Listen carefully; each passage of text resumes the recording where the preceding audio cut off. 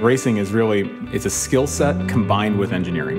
You can keep on getting better and better and refining yourself, and I think that just has a lot of appeal to me. I'm Naveen Rao.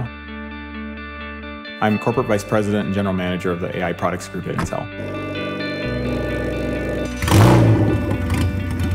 As a neuroscientist, I actually use racing as a metaphor because it actually encapsulates everything that our brain does in a sense. We take in information from our visual senses, our touch and balance, all of these things together, integrate them into a model of the real world, and then execute movements that allow us to move through that world.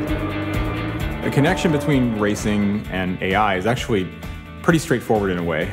There's a sense that when a technology really takes off, it fades into the background. It just makes life better in some way, right? We don't really think about you know, why an engine in a car works. But there's 50 years of engineering that went into making that thing as reliable as it is. The same kind of thing will be happening here. AI is exciting. There's a lot of people debating the ethics of it.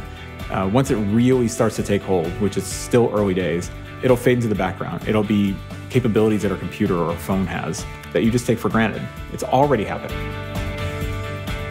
As an intelligent species, to coordinate and process more information, derive deeper knowledge about the physical world than we could before.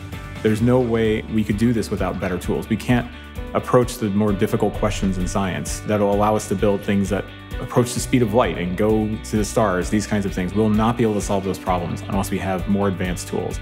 And now I think it's becoming clear that AI is that tool. It's that tool that allows us to see into new kinds of data sets and find new insights that we simply couldn't do before because one human simply could not process that much data.